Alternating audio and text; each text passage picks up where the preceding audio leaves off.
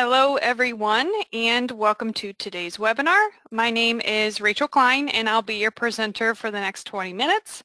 Uh, today we are going to be talking about uh, different fields and customizing them in the membership module. So the outline that I'm using today is from one of our workbooks. It's from our membership 102 workbook and then specifically pages 2 through 7.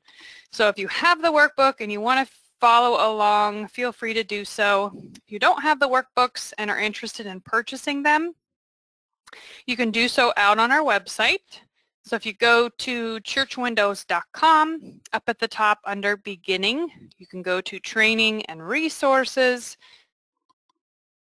Oh, come on. And then training workbooks. And then here are all the different workbooks that we have available. They're $12 if you want to download them, print them off yourself, or they're $22 if you want us to mail you a pre-printed binder ready format. Um, again, this is optional. Like always, I'm recording the webinar, so if you want to rewatch it at a later date, you can. At any time, if you go up to supporting and go to our support center, all the past webinars that we've done have been recorded and they're uploaded here um, in the order they were done. So most recent are going to be up at the top. You can also use the search bar here or look by different categories if you would like. Um, but again, I'll have this cleaned up and I will add it to the website here by the end of the day today. So rewatch it, share it with someone you think might find this information beneficial. Um, I am the only tech in here today, so if you have a question, uh, feel free to type it into the question section on your GoToWebinar toolbar. I won't even be looking at those until after I'm done presenting the topic. Um, I find that if I try to read a question while still teaching, I get myself all mixed up, so I don't even look at them until after the webinar. But if you have a question, type it in. I'll get to it, or feel free to wait. I might cover it. Um, and if I don't, then you can type that question in at the end while we do a little Q&A session. Okay? Let's go ahead and get started here. All right, so today we're going to be talking about customizing in the different fields that you have available for you in the membership module. Let me go ahead and get this open and I want to show you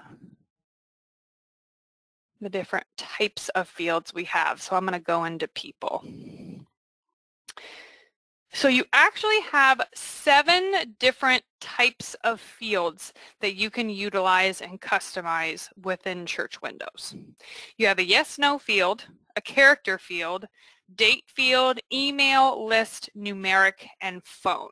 Okay, so I want to take a time to, to go over each one of those and what they can be used for. So when we talk about customizing fields and the different types of fields, I'm going to kind of stay over here in this individual field section because this is where you can really go in and customize your church windows to be able to track the different type of information your church or your organization needs to know, okay, for your different people. So first field I want to talk about is a yes-no field. This is simply a checkbox field. So there are a couple of them here in our default sample data that I have. The first one that comes to mind is this include on directory field here. It has a simple checkbox. If it's checked, that means yes. If it's not checked, that means no. Pretty basic, okay? So again, you can create new fields, which I'll show you in a minute specifically how to do that by going in here, and you can create different topics. So if you need to track something that's either a yes or a no, you can again create this little checkbox field. Next, you have a character field. This is simply an open text box field that you can type in whatever information you see fit. Okay, so um, character field would be any type of words, numbers, or characters into that field with a maximum of 50 spaces long. Okay, again, it appears as a blank field, kind of like a text box. You have the freedom to then type in whatever you want to track for that. Okay. You also have a date field. This is going to be eight digits long, like a birth date field. You simply type in the date that you're wanting to track, or you can use the little calendar. As long as it's set up as a date field, you'll have the little calendar where you can then pick from the Dropbox the date you're wanting to track. Email field, there's one here. Email field is specific anytime you're wanting to track email addresses. Technically, you could use a character field because that would allow you to type in whatever you want, but I would strongly, strongly suggest if you are tracking an email address to make sure that field is set up specific to emails. You can also have more than one email address field. So as you see here on the screen, we have an email address field and other email. You could have a work email. You can set it up however you like, okay? Next is a list field. This is probably the most commonly used field because when you set up a list field, you set up specific codes that are going to be the norm or the standard for every list field on everyone's record, okay? So for example, status code is a really common list field that people use because each code then is set up within here for the field you're wanting to track. So for example, status code, you're going to have all of these different codes available which you've created and then people are going to be able to pick only from that list. So this is a really great way to standardize, standardize kind of across the board for tracking something for everybody within your database. Okay. Next is numeric. This is strictly used for numbers, okay, not phone numbers, just numbers. So for example, you might have a member book roll number, or as people uh, join your church, they may be assigned a specific member ID. Um, that would be the option where you would want to use the numeric code or the numeric option for tracking that for people, okay? Last option is phone. It's automatically 10 characters long with the slashes and the dashes. And this is where you want to track cell phone. So whether it's work phone, email, or I'm sorry, work phone, cell phone, alternate phone, whatever it might be, you want to use a phone field as long as you are tracking a phone number. Okay. Now, let's go. I'm going to go a little out of order in the book because I uh, personally I don't like the order that they set it up in. So I'm going to jump to page three if you're following along. And I'm going to go right in here to customize fields. Customize fields is where you are going to keep track of all of these fields you have here. Okay, so as you go into each person's record, right now we're on Nina, as you click through the different people in your database, we go back here to Jen, you can see they have the same fields specific to members, but each person's information is going to be unique to that record. Even though the fields are the same, the actual codes you're putting in them are unique to this specific person. All right. So let's hit this Customize Fields button. This is where you manage all of this information. So after I hit Customize Fields, you can see that currently our category is on Member, and you can see all of the fields we see in people are now listed here. So here's our field name. Here's if it's visible, so whether we see it or not when we're looking at members. And then here's that type column. So this is what we were just talking about, those seven different types. This is where you specify what type you want that field to have. Okay, here's your size. And then here's a required checkbox.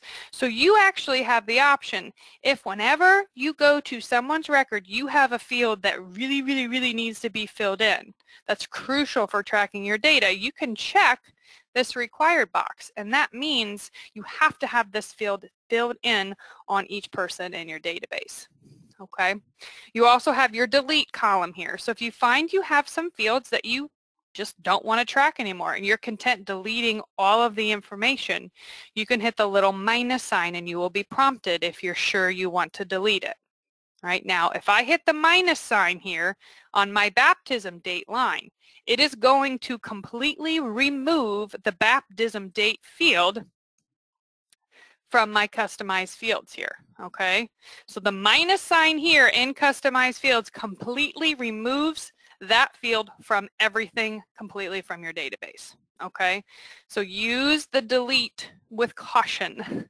Um, if you decide you have a field that you don't really want to track anymore, but you might want to keep the information for down the road, you can always uncheck this visible box here. And that's going to allow you to keep the information. It's still in the database, it's just not going to show up here on this screen. So unchecking the visible column is going to be a lot safer option than hitting the delete because if you delete it, it is gone. You cannot get it back. Okay, which you might want to do, but again, use it with caution. All right, let's talk about adding another field. So of all of these different fields that we have here, let's say we need to create, we need to create a new one. Okay, to do that, I'm going to hit add. You're going to type in the name of the um, field you're wanting to add. We can call it like new member class. Again, this can be whatever you want. This is just what popped into my head. Let's say under type, here are those seven different options that we talked about. I'm going to make this a yes, no field. Therefore, it's only a size of one. And I'm going to say, okay. Here it is, new member class. Since I did a yes, no field, it's just a check mark, okay? I just want to know if they took a new member class or not. Now, let's say I don't really want it down here at the bottom. I want to move it up higher in the list. If that's the case, go back into Customize Fields. Scroll down to where it is, New Member Class, and then simply click on the field, and then you use these big chunky up and down arrows, and then you can jump it up higher in the list. So the order of these fields is completely customizable and up to you, okay? So the fields you're going to use the most often, you're probably going to want to keep those up at the higher part or up towards the top of the list. So let's go back to my new member class and I'm going to put it up here next to how came to membership. If that's the case, I'm going to say OK. It's going to resort my list here, how came to membership, and then new member class right here. Okay. Now, once you create your list fields, okay, those are the fields like status code that have all these different options for you to choose from. After you set that up, say you've made a new one, you need to then come in here with this little pencil and this is where you are going to maintain the different codes for the specific list field that you're working with. Okay, so here we go, maintain status codes. Here are all the different ones that have currently been set up. If you want to make a new one, you simply add in a new code description, you would then type in the description. So we could, I don't know, visitor, potential, non-member, spouse. There's a lot of good options in here already. But then you would put your description in for whatever it would be, hit add, and then it would then pop down to the list below. Okay. You have an inactive checkbox. If you find you have a status code that no longer pertains, no longer is of use to you and what you want to track, you can simply make it inactive or you can delete it. If you hit the minus sign, it is going to completely remove that potential code or whatever code it might be. So anybody who has a potential status code, if we hit delete, it's going to be gone okay? So keep that in mind with those minus signs because it is permanent. There's no undo for that. All right, so that's how you set up and maintain your different status codes. So any field with a pencil over here on the right, this is going to be list fields that you can then go in and edit the different codes, maintain them, okay? Now, we talked about hiding a field. That's on page six. Again, if you find you have a field you no longer want to use, you can uncheck the visible box. Um, you also have the minus sign here as well. That's going to allow you to completely delete the field. Some fields are going to be grayed out. If the minus sign is not lit up in red, you cannot get rid of it. It's a crucial field for the software and it's not going to let you get rid of it. Okay. And we also talked about arranging the fields as well. So again, highlight the field and then use the down arrow, the up arrow to resort this list to the order that you need. Okay. A lot of customizing here. You really can't break anything. So come in here, go into your customize fields option, set up those specific fields that you need to track for your church and your organization to get those reports that you're needing, okay? One more thing I want to talk about, and then we'll wrap up, has to do with special list fields. That's going to be your zip code, your country, and your city and state. Okay, so let's talk about over here on the left under address. If I hit this little pencil here,